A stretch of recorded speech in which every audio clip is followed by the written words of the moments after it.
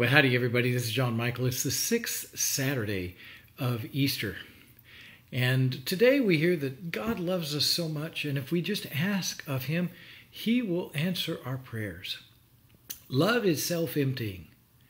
To empty yourself for the sake of another to create at least one other life. You know, that's why marriage is a sacrament. It's two coming together to create at least a third. See, so it's the self emptying of two to create a third. And God loves us that much. God, God is love within a Trinity.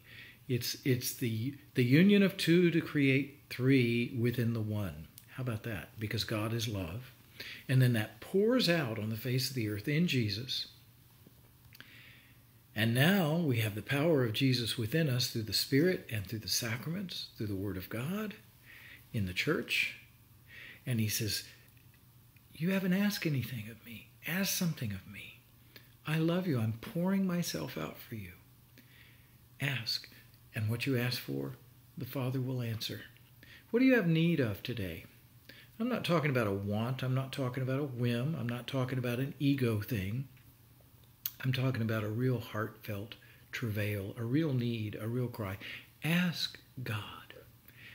In the name of Jesus, who is the pouring out of love for us, and God will answer.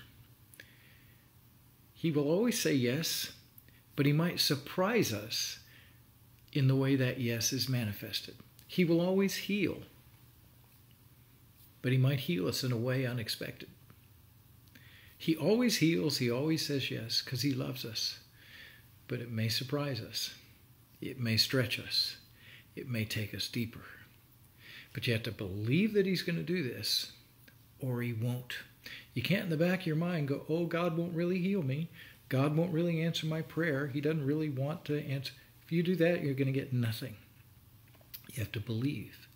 So I pray that you believe in the love of God for you and ask of God, like a child asks its mom and its dad, knowing that the answer is going to be, I love you, my child.